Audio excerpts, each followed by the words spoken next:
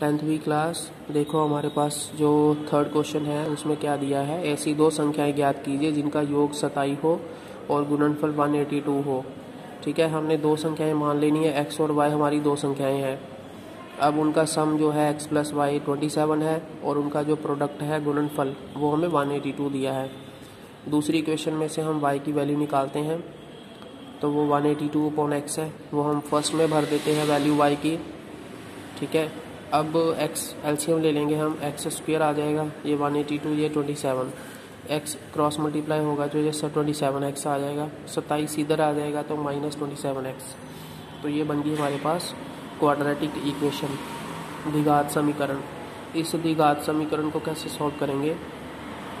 Fourteen into thirteen हमारा one eighty two होता है और चौदह प्लस तेरह हमारा सताई होता है, ठीक है? तो फैक्टराइज कर देंगे हम, स्प्लिट करेंगे ट्वेंटी सेवन को फोर्टीन प्लस थर्टीन में X plus one eighty two equal to zero अब ब्रैकेट ओपन करेंगे minus fourteen X minus thirteen X plus one eighty two equal to zero अब इन दोनों में एक्स कॉमन आ जाएगा X minus fourteen thirteen common आएगा X minus fourteen equal to zero तो हमारे पास दो फैक्टर आ जाएँगे X minus fourteen X minus thirteen equal to zero तो दो वैल्यूज़ हमारे पास आ जाएँगी, एक फोर्टीन और एक थर्टीन ठीक है? चलो क्वेश्चन नंबर फोर देखो क्या है। फोर पॉइंट टू का। दो, क्रमागत धनात्मक संख्याएँ। धनात्मक पूर्णांक ज्ञात कीजिए, जिनके वर्गों का योग 365 हो। ठीक है?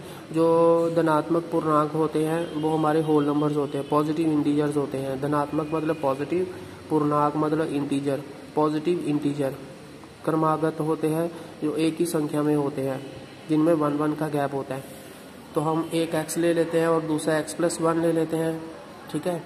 तो उन दोनों का जो स्केयर है, वर्ग है, वो है थ्री सिक्सटी फाइव तो पहले का भी स्केयर कर दिया, दूसरे का भी स्केयर कर दिया equal to three sixty five चलो, अब इसमें फॉर्मूला लग जाएगा A square plus B square plus two A B three sixty five X square X square two X square two X और थ्री सिक्सटी फाइव इधर आ जाएगा माइनस हो जाएगा। तो minus three sixty four. Two common आ जाएगा तो x S के plus X minus one eighty two equal to zero. Two उधर चला गया, ज़ीरो हो गया। ये बन गई हमारे पास द्विघात समीकरण। ठीक है? अब इसमें चौदह इंटू तेरह करेंगे, वन एटी टू होगा, और चौदह माइनस तेरह करेंगे तो वन होगा। फैक्टर बनाएँगे वन के। Fourteen minus thirteen, bracket open करेंगे, एक्स